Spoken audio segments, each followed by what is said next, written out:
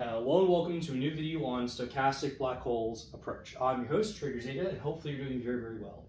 First things first, thank you for watching. Second, Happy New Year.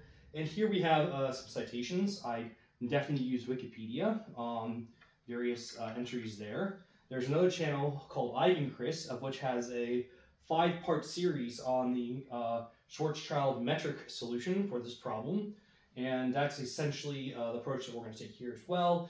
Very, very good channel. eigenchris, top notch, um, very cool. And so here we have uh, the last one is Hawking um, Euclidean Quantum Gravity.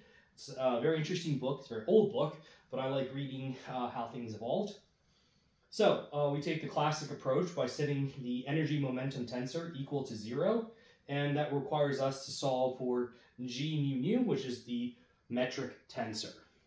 The metric tensor is essentially the curvature of the space that you're working with. Okay, and here we have uh, in the Schwarzschild uh, solution, metric setup, whatever, um, you are going to have these normal coordinates, x, y, and z, and we're going to translate everything to spherical coordinates, radius, theta, and phi.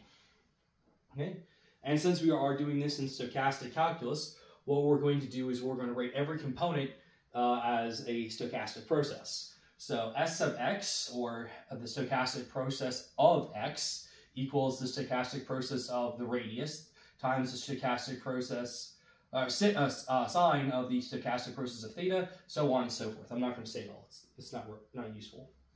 Okay, so now in classical uh, stochastic calculus, we have d, uh, or the distance of, of some stochastic process, of alpha equals mu, the stochastic process, d alpha. This is the Riemann integratable part, the regular calculus version, and plus some stochastic uh, uh, portion. We have sigma, which is the volatility, the stochastic process, and d with respect to the Wiener process.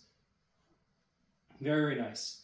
Now, if I um, square this, or if I cube this, or if I to the power of any some beta, it has some limitations. So d um, with respect to this uh, stochastic process raised to beta equals 0 for beta greater than equal to 3. Okay? And what we're also going to use is the Ito uh, Doublinger formula slash Ito's lemma. And here we have it right here. Here is the uh, chain rule, so to speak, of stochastic calculus. And when we square that using uh, this formula, we get this right here. Now, we're not going to go extensively deep into the stochastic calculus and all the formulations because a lot of them are really redundant and easy to derive once you plug in these uh, components. So it's, uh, it's just a more of a formalism, okay? So classically, uh, in the Schwarzschild uh, solution, we use plus, minus, minus, minus, and then go to minus, plus, plus, plus. This is something called the Minkowski metric, okay? Now, what we're going to do is we're going to assume that we're doing this Einstein field equation and all this math on a certain topology, particularly a stochastic metric topology. So here we have the reals, and we have this d sub i, um, where this is the, the, uh, the distance function, so to speak, and d sub i is, is essentially equal to the absolute value of the difference between two general Ito processes. They need not be exactly the same Ito process, but in this case, they are. And these Ito processes are going to have, uh, you know, uh, mu and volatility, and so uh, in this case, to simplify all calculations, we are going to assume that they are homogeneous. In other words, the, uh, the mu and the volatility more or less are the same throughout the entire manifold, at least locally. Okay, so here are all the vector components.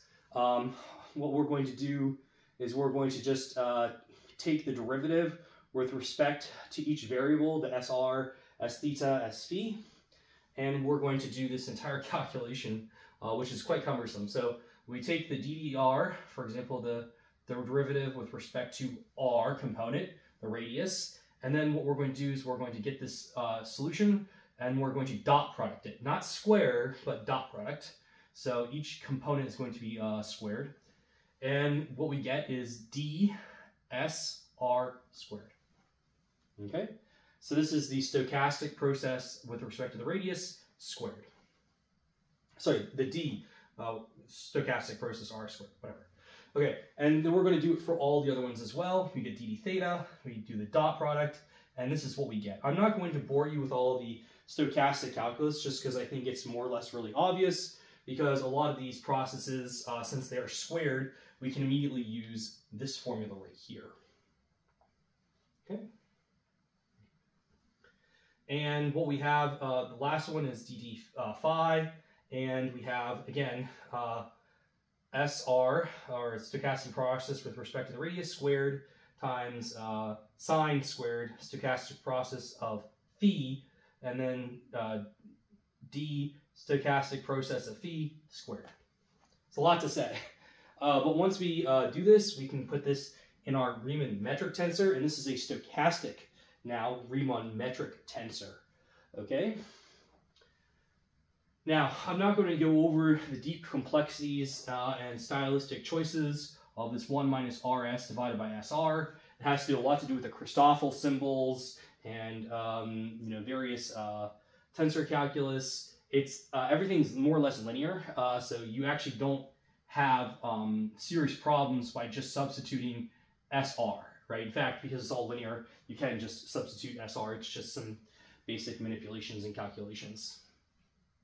Okay, and so the radius uh, classically for the uh, Schwarzschild solution, R sub s equals 2 times the gravitational constant times mass divided by the speed of light squared.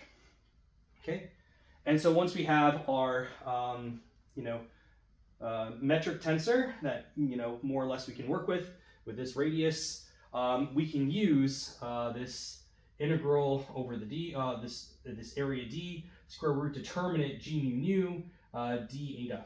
Okay, this is a this is just a surface area formula. Okay, so this is going to be equal to a, and we're going to be gunning for the surface area. Uh, I'm going to flip the board really quick, and we're going to get right to it. All right, very, very nice. Now we can proceed with our entropy calculation. So we have our result, and we can kind of think of this as like a triple integral since, oh, I'm sorry, uh, yeah, a triple integral, um, maybe even one more, uh, given a component of time. I don't know, it doesn't really matter.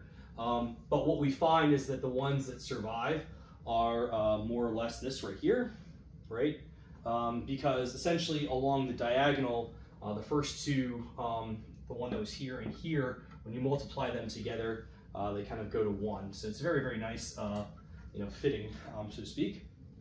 All right, and so what we're going to do is we're going to interpret this integral, right? Um, we need to find, we're calculating for surface area. So we say A equals the integral over the space D, uh, uh S of R squared, uh, sine uh, S theta, and D uh, stochastic process of the area. Now, because these are, uh, you know, coordinates in a sphere, I mean, the, the more or less, even a stochastic Lagrangian would more or less just be a linear line. So what we can do is we can say, look, SR is kind of like R, and S, theta, uh, S phi is kind of like uh, phi, and S theta is kind of like theta. So we can do more or less kind of a change of variables. And when we do this, this is again, uh, you know, beautiful interpretation pure substitution, right? Everything's substitutable. There's no extra terms or anything like that. What we get is area equals 4 pi r squared um, and 0 to, pi, uh, 0 to 2 pi uh, r squared sin uh, phi d phi. I mean, it's very, very nice. Um, there is no real underlying deep magic except for this, uh, I guess, I wouldn't say arbitrary change of variables because and everything lines up, it seems quite reasonable. Um, so what we can do then do is look at something called the Bekenstein-Hawking uh, you know, formulation. the entropy equals uh, pi a, where a is the uh, surface area or the event horizon. Um, Boltzmann constant, uh, speed of light cubed divided by 2 times Planck's constant gravitational constant.